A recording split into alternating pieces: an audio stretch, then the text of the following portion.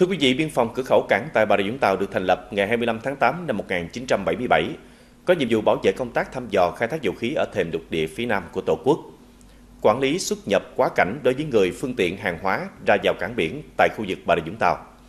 Trải qua 45 năm xây dựng, các thế hệ cán bộ chiến sĩ biên phòng cửa khẩu cảng luôn đoàn kết hoàn thành nhiệm vụ chức năng. Buổi họp mặt kỷ niệm 45 năm thành lập biên phòng cửa khẩu cảng được Ban Chỉ huy Biên phòng cửa khẩu cảng Bà Rịa Vũng Tàu tổ chức. Tại buổi họp 45 năm thành lập Ban Chỉ huy Biên phòng cửa khẩu cảng, lãnh đạo Bộ Chỉ huy Bộ đội Biên phòng tỉnh Bà Rịa Vũng Tàu biểu dương những thành tích mà đơn vị đạt được trong 45 năm qua, đồng thời đề nghị lãnh đạo đơn vị cùng toàn thể cán bộ chiến sĩ tiếp tục thực hiện nghiêm các chỉ đạo của cấp trên, bảo đảm hoàn thành tốt nhiệm vụ được giao.